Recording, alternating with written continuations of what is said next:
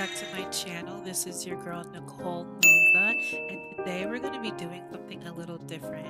As you can see, I have the goths on my page, and what I wanted to do was give all my townies a little makeover by using real people inspiration. So if you like what you see, please like the video and also don't forget to subscribe to my channel and hit that notification bell so you can stay up with all of the Sims shenanigans. So as you can see here, I found Mortimer's inspiration now we're moving on to Bella, Bella Goth.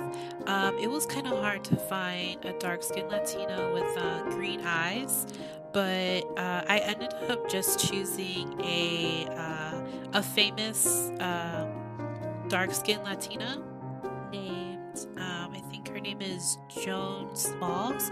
Uh, she seems to be a model, so I just decided to go with her. Um, I liked her whole vibe. I think her vibe meshes well with Bella's.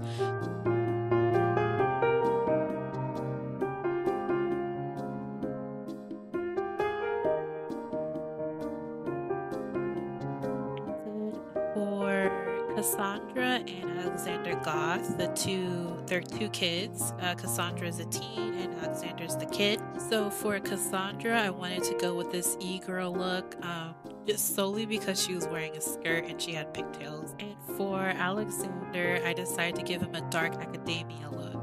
So the inspiration that I chose for Bella Goth, Joan Smalls, uh, she was giving me a fashion-forward chic look. Uh, so nothing too outlandish, nothing too gaudy, but fashionable, but also comfortable as well. So that's what I kind of wanted to do with Bella. I wanted her to still have her glamorous self, but also comfortable at the same time. So now I'm just trying to find a hairstyle for her.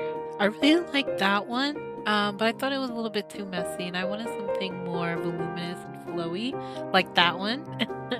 uh, I'll be going back to that one. That's the one that I'm going to use. Yeah, this one right here. So now I am trying to find some good skin details for her. I added some frown lines for her even though she's still quite young. She is a young adult. I just wanted to, you know, make her a little bit older.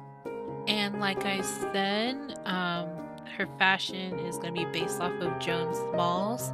And since Joan Smalls is a, um, it seems like she is a model. Uh, since she's a model, a lot of her outfits are business casual type clothing, um, also runway type clothing, but it's nothing really ever outlandish. And that's what I like about uh, Joan Smalls' looks.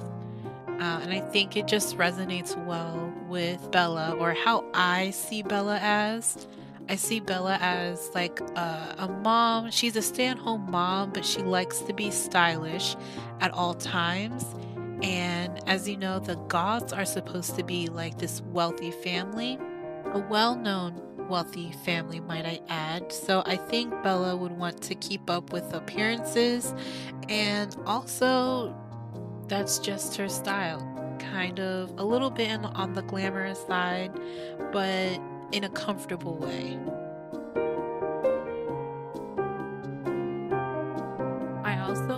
To make sure she showed her figure. I think Bella takes pride in how she looks and um, she takes pride in her hourglass figure, which she her body looks bomb, especially in the um, red dress, the new red dress, not the old one, the red dress that you'll be seeing as her party wear. Like she looks fit.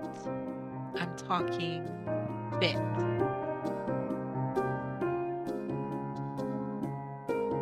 I was trying not to make every outfit black and red. I mean, since she is a goth, I made sure I put in some kinda gothic essence into her clothing. I added um, as much black as I could, um, but I didn't want to have all of her outfits black and red. I wanted some extra colors, like a little bit of pink, one of the skirts that I chose for her everyday wear, uh, the skirt was like a tan, like a brownish tan color. Um, so just to break off from the um, same old red and black, I wanted to add just a little bit of pizzazz into her outfits. There's this one specific hair that I choose for this outfit that I should have just kept and used it for the other outfit. I go back and I change this um, hair, this specific hairstyle right here, um, to something else. But I might just go back and um, use this hairstyle instead of the other one that I'm going to switch it with just because I like it with her everyday hair. So I really like to make sure I use the same type of like hair length and hair density with her everyday hair. I just think it's a seamless transition between each of her clothing. So yeah, I think I'm just gonna switch out the hairs just for y'all to know. Y'all, look at this outfit on her. Look at her waistline. It is cinched. Okay, it is cinched. She looks so good with this outfit on, I swear. And the bathing suit that I choose for her is so Bella Goth. Like this one right here. The fake Versace. it is so Bella. So her hot weather look was a lot harder for me than I thought. I thought it was gonna be just like a, a shirt and like some type of skirt or um, short jeans of some sort, but I thought it was a bit too casual for Bella Goth, so I decided to um, pick out a dress instead, and I found this one. I thought, yes, this is this is fashionable. It's um, stylish, and also it looks pretty flowy and comfortable. So that's why I chose this one.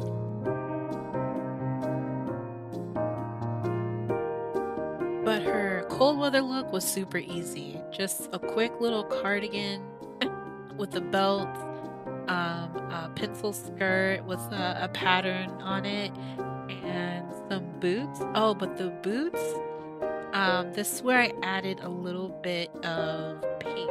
The boots were pink, but everything else was like black and white. Um, I just thought it added a little pop of color, a little pop of style in there. So I think Bella would appreciate that.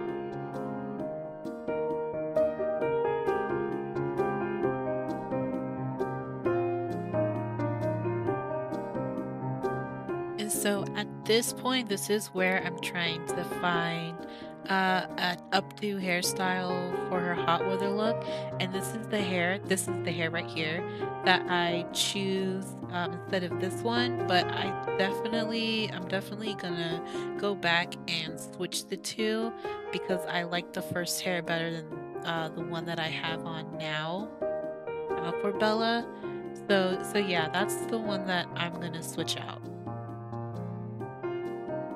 So right here, I'm looking at different pictures of Joan Smalls' looks, uh, specifically her makeup looks.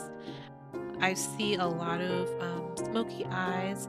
There's nothing too heavy uh, with her makeup. A lot of her makeup uh, looks are kind of on the soft glam or natural makeup look. So yeah, that's what I'm trying to convey on Bella Goth here.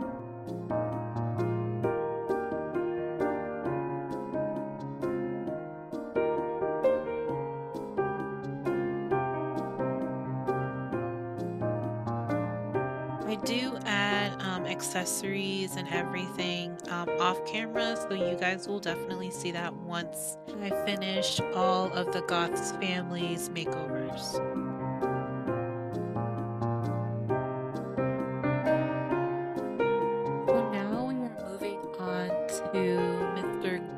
Mortimer Goth here. Um, as you can see, the person that I chose to um, use as inspiration for Mortimer looks just like Mortimer. but I will be changing that terrible mustache. I can't stand that mustache. It has to go. And I'll be giving him a mustache with more with more substance, you know, with more girth. This is the one that I went with. Um, I really like this one.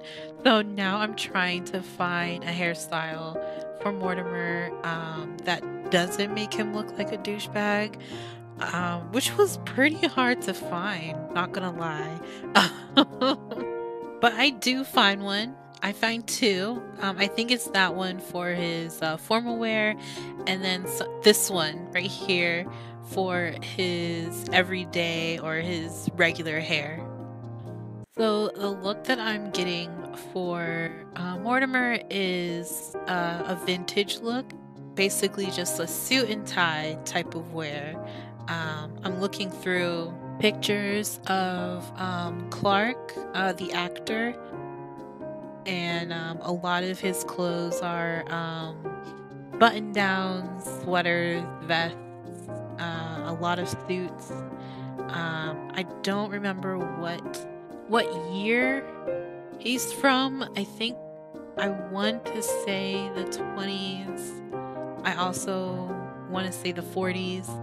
But yeah, that's the type of look that I was trying to convey in Mortimer. And honestly, all of Mortimer's outfits were suits, literally just suits. So it was very easy. I just changed a few things here and there, but for the most part, uh, Mortimer's whole style was easy for me to um, pick out. And I added some more clothes on him for his pajamas and his swimwear because I don't want him to scare his children. You know, I don't want I don't want him to scar his children. And it seems like he doesn't really care. He's just walking around doing whatever he wants. And yes, he could, but you know, I care about his kids and their well-being. And I don't want them to see him in a speedo. Okay? Don't want that. So we had to change that. and poor Mortimer always wearing a suit and tie, even with his hot weather look. So I wanted to choose something that was still suave, but you know, was cooling for him.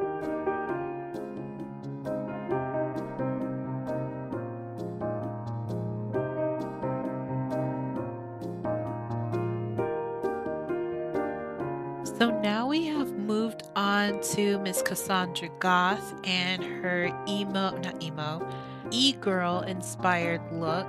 And I had a lot of fun with this whole look. It was kind of difficult because I didn't want to misinterpret the whole e girl look. But I think I did an okay job, in my opinion. Uh, so I hope you guys like her look. There was some parts where I wasn't able to do a certain look that I wanted, but you know, it is what it is with The Sims 4, and uh, I have accepted. I have accepted Sims 4 flaws in every way, shape, and form.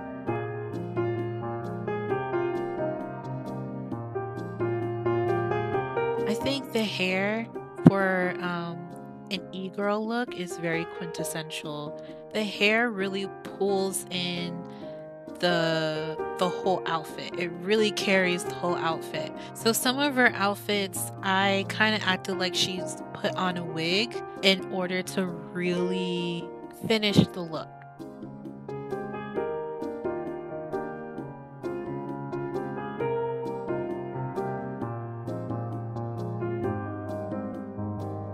While trying to look for accessories and things of that nature for all of the goths, um, I realized that I didn't really have that much um, eyewear, like glasses, for them to choose from. So I'm definitely going to be looking for some glasses for them because it was a barren wasteland over there. And it is also because I hardly put glasses on my Sims. I just don't want to deal with it because I'll have to put glasses on ev- on them every single time for every outfit, and I just didn't feel like doing that. So yeah, I'm going to be looking for more glasses. So right here, I was kind of feeling overwhelmed because there was a lot of items that I could choose from for um, her e-girl look. So I was feeling a little bit overwhelmed. So I was looking through um, inspo to kind of pinpoint what I really want uh, Cassandra to wear. And her outfit that I choose for her, I think is okay. I don't know. You guys tell me. I think I did a good I think I did a good job. And as you can see, the look changes sporadically. I, I keep changing her outfit. I couldn't decide which one I really wanted, but once I did decide, I went with it and I was happy with it. I also tried not to use a lot of red in her outfits because I wanted it to be more on the kawaii, the very cutesy type e-girl. So yeah, that's what I was going for. Now for her formal wear, her mom definitely had a hand in picking out her formal wear. I can just hear Bella telling Cassandra, you know, I love your style, but this is a formal setting, so please, please just like tone it down just a little bit. And Cassandra was probably like, whatever, mom, fine. And Bella just gave her an outfit for her to wear. And the dress isn't really that bad. It's it's a nice um, classic black dress.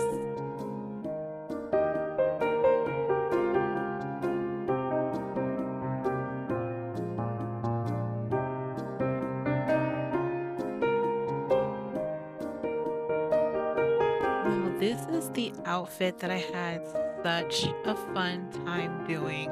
I knew what I was going for, I just didn't know how I was going to get there. But once I got there, it looked amazing and I love this outfit on her. This is my I think this is my favorite outfit of all the goths. Her hot weather look is my second favorite outfit of all the goths as well. so this is what I meant when I said the wig really carries the look because I feel like without this um, hair, I feel like it wouldn't it wouldn't go far as it could. Think just with the with the wig that she has on, I really think it just makes the outfit look 10 times better. Now, not gonna lie, her bathing suit was kind of like it went it went left and I'm not gonna change it. I'm honestly not gonna change it. so with her hot weather look, it was kind of difficult for me to know what I was going for. But when I saw this butterfly corset, I knew like I had to use it. Absolutely had to use it. I don't know how, but I'm going to use it. And once I figured out what I could use with this butterfly corset, I it was it was done for. The whole outfit looked so good. And like I said, this is my second favorite outfit of all the goths.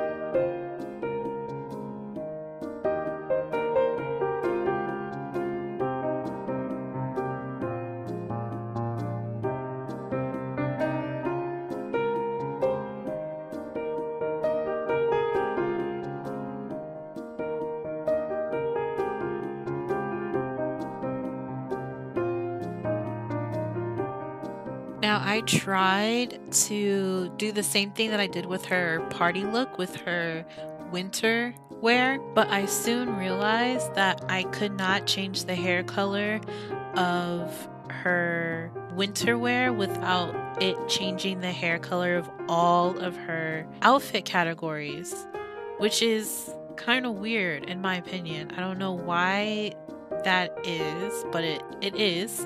Um, and not only that, the hair that I use for her every day, um, the highlights in the hair was not in the winter category. So I couldn't do that.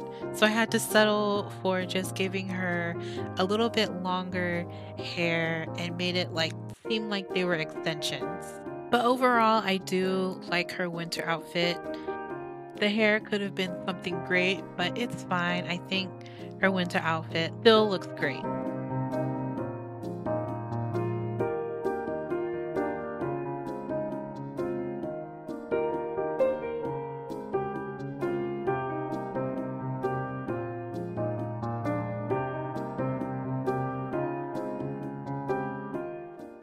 We are now on the final stretch. We are with Alexander Goth, and we are going for the Dark Academia look, as you can see here. Um, I kind of had a hard time finding um, clothes that kind of fit the Dark Academia aesthetic. Uh, but I did the best that I could, and like I said before, I need more accessories, especially for kids. Uh, but I think I did a pretty uh, good job. His sportswear and his pajama wear, um, not pajama, just his sportswear, um, is gonna look not dark academia. Um, it's not gonna give dark academia vibes, but it'll give vibes nonetheless. So here I was just trying to see what type of shoes went with the dark academia aesthetic. And I saw a lot of what are those shoes called? Converses and dress shoes. That's all I saw. Converse and dress shoes. So yeah, I thought it was just dress shoes, but no, they added some Converse, some dirty Converse in there too. No shade to Converse shoes, they just look dirty in the picture. Like they went through trials and tribulations, they went through life.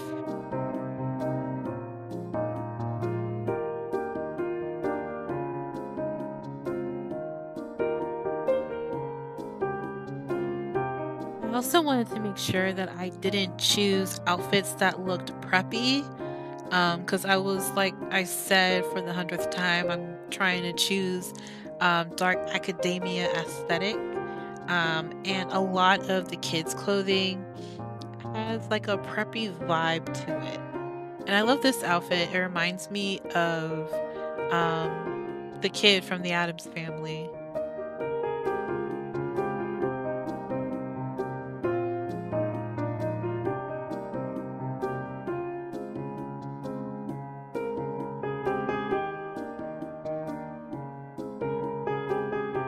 And oh my gosh, I was having such a hard time trying to find a nice dark academia uh, winter look. I don't know why I was having such a hard time, but I ended up choosing something that really went with the whole dark academia aesthetic. So um, I think it would be better if there was like a nice scarf, but you know, it is what it is.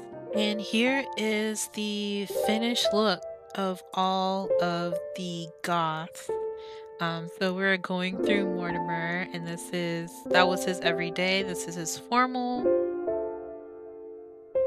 his sportswear, his sleepwear. I put a robe on him so he doesn't scare the kids.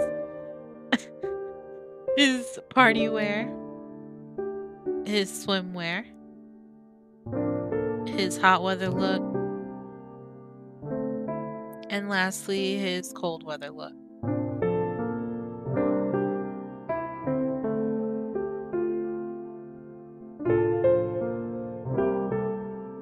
And here we are with um, Bella. This is her everyday. She gets two because she's the queen. and this is what her makeup looks like. And then here's her formal sportswear, her sleepwear. She has two.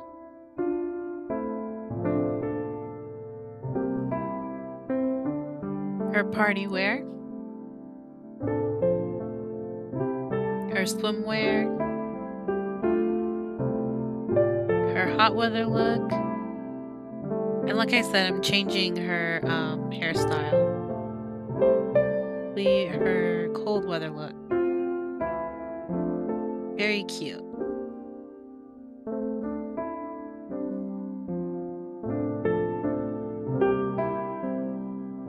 Next, we're on to Cassandra. This is her everyday look. Her makeup is so cute. Her formal wear. Her sportswear. her sleepwear, her party wear. Love this look on her.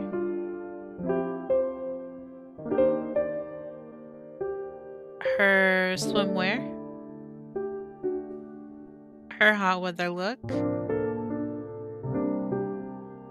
and lastly, her cold weather look.